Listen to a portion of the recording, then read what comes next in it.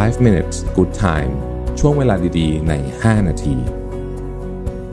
สวัสดีครับ 5 minutes นะครับ วันนี้จะมากับบทความที่ชื่อว่า 5 การกระทำเล็กๆ ที่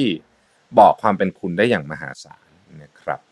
บทความนี้เขียนโดยคุณอลีเนวเนกนะฮะ ก็ได้พูดถึงการกระทำเล็กๆ นะครับ ที่แสดงออกถึงทัศนคติแล้วก็ตัวตนของคุณได้อย่างมากเลย แปลว่าคุณต้องระวังด้วยนะครับ ว่าเรื่องพวกนี้เนี่ย เอ่อมันเป็นมันเป็นสิ่งที่คนเนี่ยช้คำว่ารับรู้ตลอดเวลาแล้วกันนะครับข้อแรกคือเรื่องของการรักษาเวลา เรื่องเนี้ยเป็นเรื่องที่สำคัญมากจริงๆนะครับโดยเฉพาะในยุคสมัยใหม่นี้ที่แบบคนทุกคนยุ่งหมด การเป็นคนงานยุ่งนะครับไม่ได้หมายความว่าคุณจะมีสิทธิ์ไปนัดคนอื่นสายได้ เพราะว่าเวลาเราปล่อยคนอื่นรอเนี่ยนะฮะมันคือมันคือต้นทุนชีวิตของมนุษย์คนอื่นที่ต้องรอประรอประชุมกับเราอีกสิบคนอะไรเงี้ยมันเยอะมากนะครับ จริง ๆ การการมาสายเป็นนิสัยเนี่ยไม่ว่าจะเป็น 5 นาที 2 นาทีอะไรอย่างเงี้ย ถือว่ามันสะท้อนทัศนคติอันหนึง ว่าเราเป็นคนเห็นแก่ตัวนะครับ เราชอบขโมยเวลาของคนอื่น และทำลายประสบการณ์บางอย่างที่เขาควรจะได้รับเขาควรจะได้จบมีติ้งเร็วกว่านี้ เขาไม่ได้จบเพราะว่าเราเป็นคนที่มาสาย เพราะฉะนั้นการรักษาเวลาจึงเท่ากับการไม่เห็นแก่ตัวนะครับ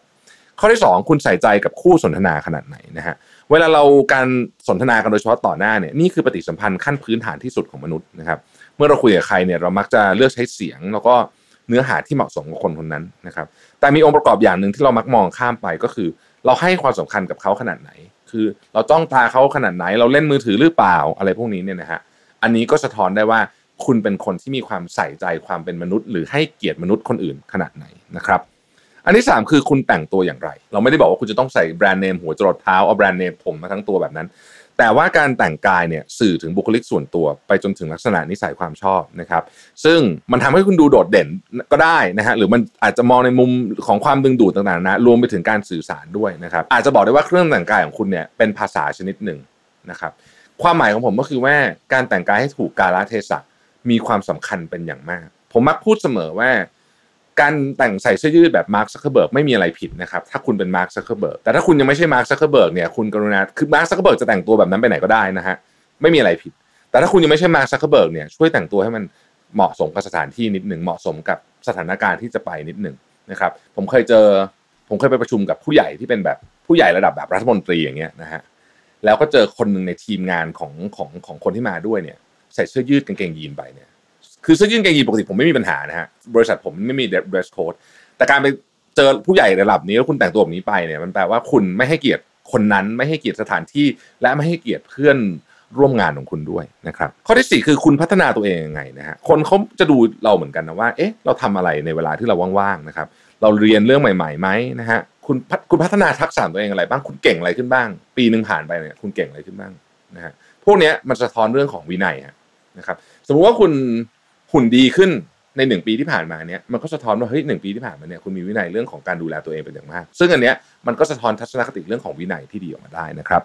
สุดท้ายคือคุณปฏิบัติต่อคนที่อยู่ใต้บังคับบัญชา หรือมีอำนาจน้อยกว่าคุณยังไง เช่นพนักงานเสิร์ฟเนี่ยพนักงานบริการคุณ ณเวลาที่เขาบริการคุณอยู่เนี่ยโอเคเขาต้องบริการคุณใช่ไหมมันเป็นหน้าที่นะฮะเฉพาะเวลานั้นนะในชีวิตประจำวันเนี่ยเราก็จะเจอเยอะแยะเลยพนักงานแม่บ้านนะฮะพนักงานเสิร์ฟต่างๆเนี่ย คุณปฏิบัติต่อเขายังไง คุณพูดน้ำเสียงกับเขายังไง อันเนี้ยสำคัญที่สุดเลยนะครับ เวลาพ่อแม่สอนลูกๆอะหลายคนจะสอนแบบนี้เลยว่าจะไปเดทกับผู้ชายหรือผู้หญิงก็ตามเนี่ยให้ดูเลยว่าเขาทรีตพนักงานเสิร์ฟยังไง ถ้าเขาทรีตพนักงานเสิร์ฟไม่ดีต่อให้เขาทรีตเราเป็นเจ้าหญิงเจ้าชายแค่ไหนก็ตามนะอย่าเลือกคนแบบนี้มาเป็นคู่ครองเพราะคนแบบนี้ไม่ให้เกียรติคนอื่น ดูถูกคนอื่น ดูถูกความเป็นมนุษย์ของผู้อื่นนะครับนี่คือ 5 การกระทำเล็ก ๆ ที่บอก ตัวตนของคุณได้เป็นอย่างมากเลยนะครับแล้วก็ต้องระมัดระวังมากๆเลยนะครับผมทวนอีกทีหนึ่งนะครับหนึ่งคุณรักษาเวลาแค่ไหน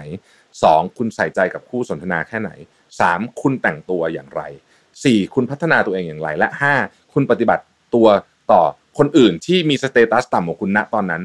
อย่างไรนะครับนี่คือมุมมอง 5 มุมมองที่น่าสนใจมากๆเลยนะครับ ขอบคุณที่ติดตามนะครับ แล้วพบกันใหม่พรุ่งนี้ สวัสดีครับ 5 minutes good time ช่วงเวลาดีๆ ใน 5 นาที